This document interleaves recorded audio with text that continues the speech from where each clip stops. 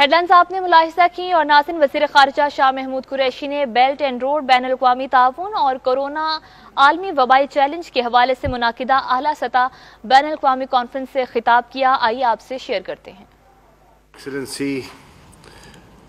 Mr. Wangi, State Councillor and Foreign Minister, fellow Foreign Ministers, Dr. Tedros, Director General of World Health Organization, Excellencies, ladies and gentlemen. It is my honor and privilege to be participating in this August forum. Belt and Road International Cooperation combating COVID 19 with solidarity is indeed a timely initiative underscoring the imperative of a global response to deal with a raging and insidious COVID 19, which has consumed nearly half a million lives and has infected more than 8 million people. I must congratulate China's leadership on hosting this conference and creating greater awareness about the dangers that the planet is confronting due to the pandemic. My special thanks are due to my dear friend Mr. Wang Yi for leading this extraordinary initiative. Excellencies, COVID-19 pandemic has shaken the world.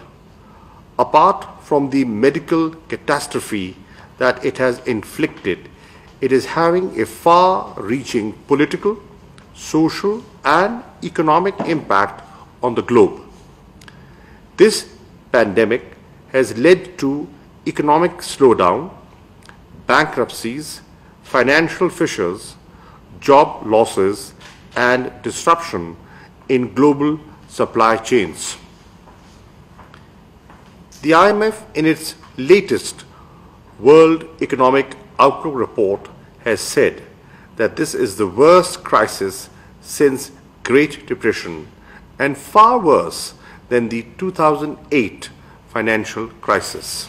Moreover, economic pressure on individuals, societies, and nations is causing social unrest, political instability, threatening the existing order. We need unity, solidarity, and multilateral cooperation to fight this pandemic that knows no boundaries, no religion, and no ethnicity.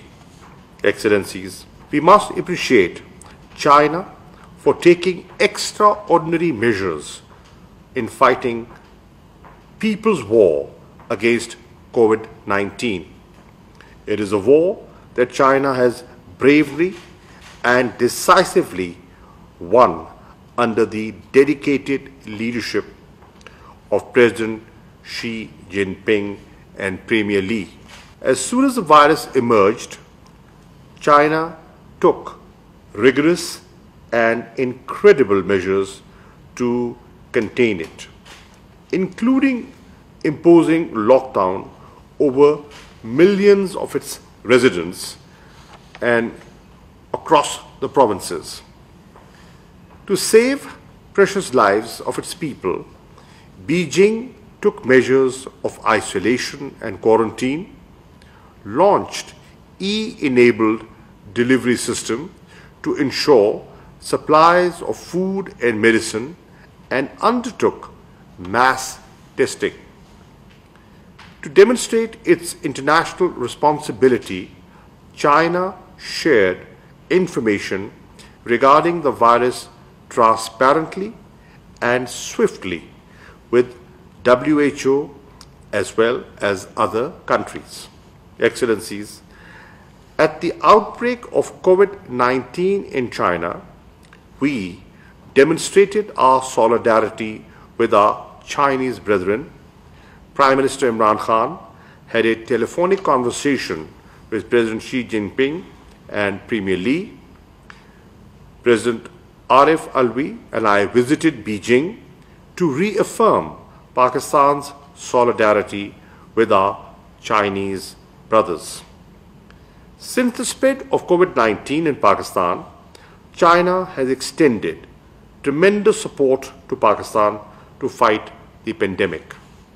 Chinese government has provided 4 million US dollars in cash donations in addition to 390 ventilators, 330,000 testing kits, 830,000 N95 masks, 5.8 million surgical masks, 42,000 protective suits, and millions of other PPEs.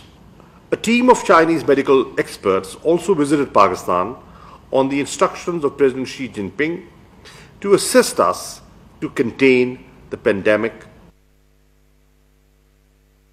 The team visited various provinces of Pakistan to strengthen their capacity to fight COVID 19.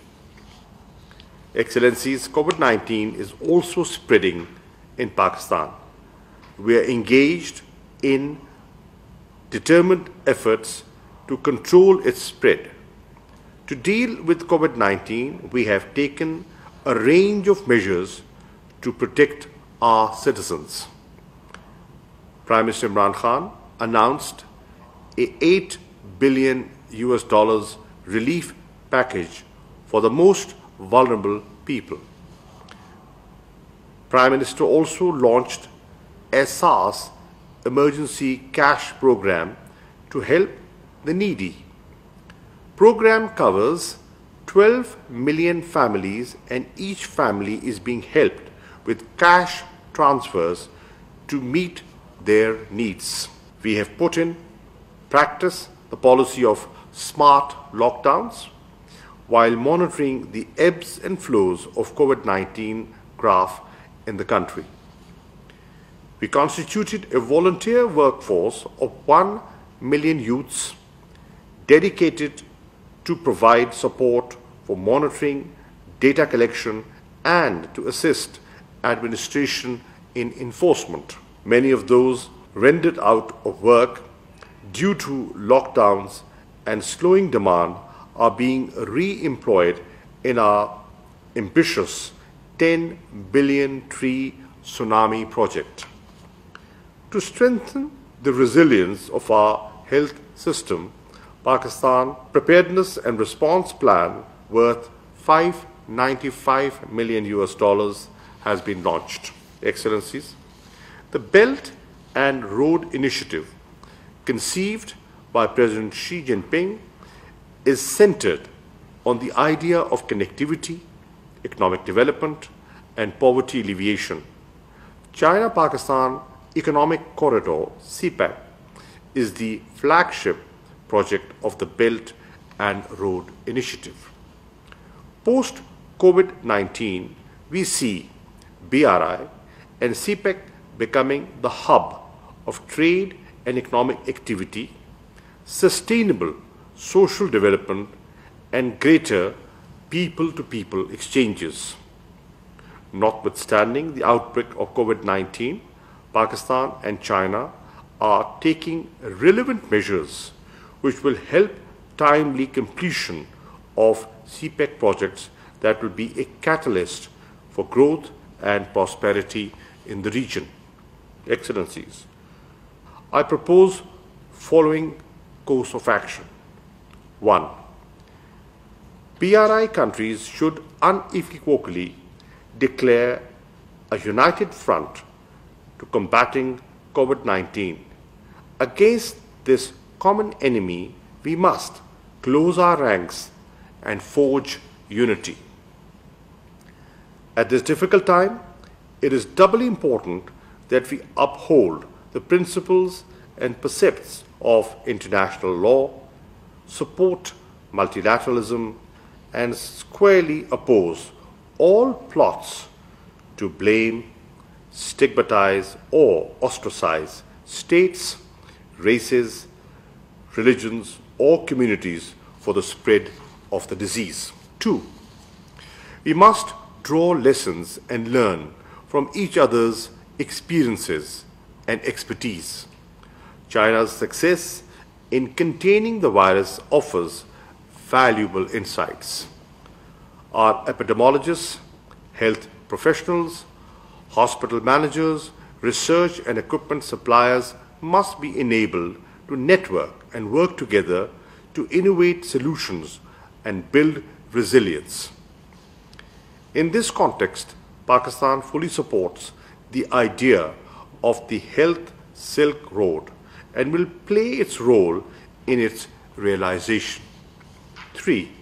COVID 19 vaccine, as and when it is developed, must be declared a global public good and made available on an equitable basis.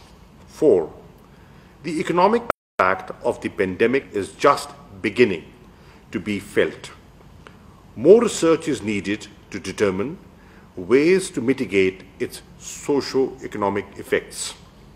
Under the framework of SCO, we have already proposed a Center of Excellence on Poverty Alleviation. BRI nations could take the lead in addressing the economic fallout by pooling research and taking coordinated actions for the promotion and projection of trade and generation of employment.